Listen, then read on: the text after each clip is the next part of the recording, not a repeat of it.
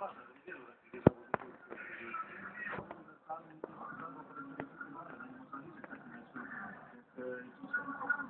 po raz kolejny Wasilów walczący z Kasią pokazuje, że zajął barkiem, ale powtórka pokazała, że jednak ręce pracowały, tak więc po raz kolejny